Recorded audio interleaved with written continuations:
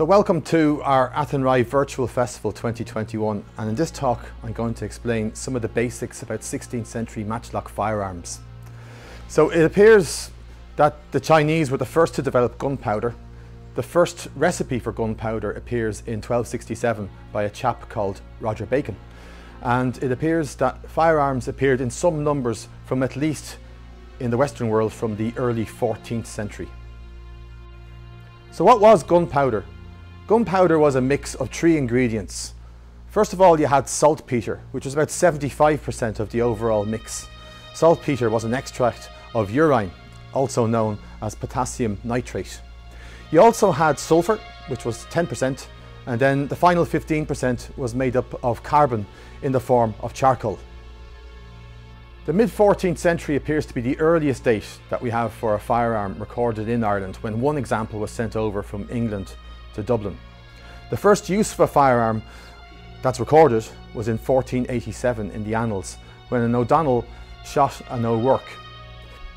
So over the course of the 16th century, firearms became more and more prolific all across Europe, in England and in Ireland. So for example, in England in 1547, one inventory of Henry VIII tells us that there were 6,700 arquebuses in storage at the Tower Armoury. Not all of these firearms were probably made domestically in England.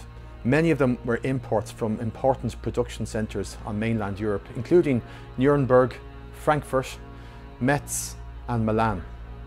Spain and Flanders were also important um, providers of small arms, and Flanders furthermore supplied England with heavy artillery, while Spain throughout this period also supplied England with powder.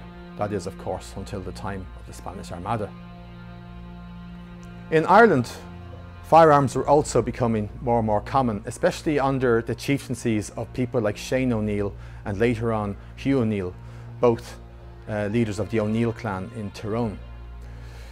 Under Hugh O'Neill, we also believe that firearms may well have been manufactured in Dungannon. In fact, there's some evidence that there was three fabricators of firearms sent over by Alexander Stewart of Glasgow to O'Neill in the 1590s, near the start of the Nine Years' War. Also, during this very same period, it seems to be the case that O'Neill had made some effort to begin a fledgling production centre for providing the saltpetre for the powder. So in terms of the carriage of the powder, how was the powder carried? Well, the main kind of piece of equipment that was used towards the end of the 16th century was called the bandolier. And sometimes the bandolier is known as the 12 apostles because it has 12 of these bottles or boxes hanging from it. However, that's probably a Victorian term. And back in the 16th century, these boxes were known simply as boxes or as charges. Each box was normally made of wood. Sometimes they were made of tin plate as well, and copper plate is also now known from the Alderney wreck. The top uh, or lid was also made of wood, but often these lids could break during campaign, so sometimes they were replaced with a tin or a lead lid that could be more easily cast in the field. Each box carried one charge to fire one round from the musket or the arquebus and it hung on a string from the belt of the bandolier. Because it hung from a string and the string passed through these perforations here, it meant that when the lid was raised, the musket man would not lose the lid. So it's all very tidy. Also on the bandolier was a small pouch. The small pouch was for the bullets that you needed to shoot the guns. So in other words, powder and bullet are separate in the 16th century as opposed to the types of bullets we have today. Just looking at some of the bullets, the bullets were basically what looked like steelies to us in school. Steel form of marble we used to play with back in the day. They're made of lead and these also could be cast in the field. The size of the ball would usually conform to the size of the barrel or the bore as it was known. There were two types of powder, however. Well, ideally there was two types of powder. You had the main charge, which was usually fairly rough stuff, cheaper stuff. Think about sugar and the consistency of sugar. Then you had finer stuff that was used as a priming charge. And the priming powder was much finer, much more like the consistency of salt and was more expensive. Um, so usually there was one special bottle or charge or box that was used to keep the priming powder. And this one, as you can see, has a, another type of lid to identify it. And this one hung, in this case, directly from the pouch that kept the ammunition. One of the reasons the musketman needed to separate his charges was because he needed to know exactly how much to use to shoot the gun. Too little and the shot would lack range and accuracy. Too much and it could be dangerous. The gun could be breached or it could fire back into the shooter's eye. An alternative to the bandolier was known as the portash. And whereas English musketmen tended to use the bandolier during the Elizabethan wars in Ireland, we think it was more common for the native Irish, the Spanish and the Italians, for example, to use this style in the late 16th century. It's basically a wooden flask. It's reinforced with metal, has a nozzle on the top. There's one lever, quite obvious from the side here, which releases the powder, but there's a second lever at the back and that second lever ensures that the correct amount is in the nozzle. So just like the bandolier, we're putting the correct actuated amount into the musket. Also on the portash, which is basically just a stiff strip of leather, you have a musket ball pouch, again to hold your ammunition. Usually this was attached by the belt and held on the right hip. It was also quite common for bearers of portashes to also have a second smaller flask to carry the finer priming powder. Huntsmen usually had more fancy portashes or powder horns than the ordinary soldier. And this one here is an original one from Augsburg in Germany and dates to roughly around the turn of the 17th century, so let's say circa 1600 to 1610 or thereabouts. And it depicts a hunting scene. You can see the hound, the huntsman and his quarry.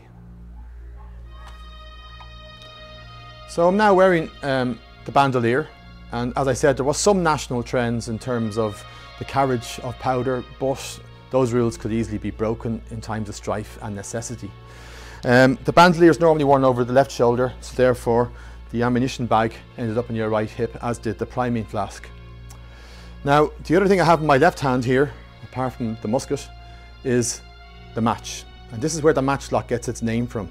The match was basically hemp cord that was soaked in saltpeter, left to dry for a week or maybe a bit more, and that ensured that this match, when lit, would burn at a very slow rate of just one inch per maybe six to seven, maybe eight minutes. Some of the disadvantages of the match, by the way, was that in the dark, if you're trying to surprise your enemy, it would give a glow. It also made a smell, which made it not a fantastic weapon for use as a hunting weapon either. So how did you fire a matchlock musket? Well, the first thing you needed to do was to open the pan with the swivel cover here and you can just see that little dish there and at the back of the dish there's a small little perforation that leads into the chamber of the barrel of the gun so it's important to keep that clear. So you first had to prime the musket and that meant using your priming powder and you'd fill your little pan and then recover it with the pan cover. Then you would have to drop the musket and take your main charge from one of the boxes or charges on the bandolier. Putting in the contents as so. The next thing you had to do then was to think about ammunition. And that's when you would extract a piece of ammunition from the uh, ammunition bag on your hip and drop it down the barrel. There was a third item to go down the barrel after the powder and ball though, and that was a piece of wadding. Now the piece of wadding could be a piece of cloth, little scrap of linen, scrap of wool, or it could just be a piece of grass on the battlefield. Either way, you drop that piece of wadding down and then you would use the scouring stick or ramrod, as it was later known, to put everything into place. The reason you needed the wadding was because if you didn't have it in there, there was a possibility that the lead ball could just drop out before you had fired it. So kept it in place. For modern movie work, we of course don't use ball, but we still use the wadding because it gives the gun a nice pop when you're shooting the gun on set. So that's the gun loaded. The next thing to do then was to take one end of the match, the one that was lit, this one, shall we say, and put the match into the serpentine. And then if you had time, you could check to see did it reach the pan, and if it didn't, you might have to readjust it. So after the gun was loaded, you then had to place the match, whichever end was still alight, into the serpentine, which is this part here. And then you could check if you had time that it would reach the pan. And if so, you would open the pan and upon the order, you would give fire by pulling the trigger here. Effective range of early modern muskets probably varied quite a bit, but effective ranges probably range from roughly 70 metres to maybe 100 metres at best. Muskets were heavy weapons. This one, for example, weighs four and a half kilos, which is roughly the same as a Howth Mauser, which was used during the 1916 period. So sometimes muskets were used in conjunction with a rest like this, which you would hold in your left hand while you discharge the musket with the right, usually leaning into the musket to absorb some of the recoil at least. There was a lighter version of the musket also in use during the Nine Years' War in Ireland, and it was particularly common with the native Irish, although the Elizabethan English army also used these weapons, and they were called calivers. It's almost exactly the same weapon. It's essentially um, a lighter, smaller version of the musket known as a caliver. Um, unlike the musket, it doesn't have a trigger guard here, it has a long trigger there as you can see, but the mechanism is very similar. Um, it has a kind of crook-shaped shaped um, stock. Usually these stocks and muskets and calivers were both made of heavy hard wood such as beech or walnut. The big advantage of this gun over the musket was that it was lighter. It suited the Irish style of warfare very well, the skirmishing style of warfare. And um, yeah, just weighed about three kilos and, and a quarter, which is quite a difference if you're lugging the weapon around all day.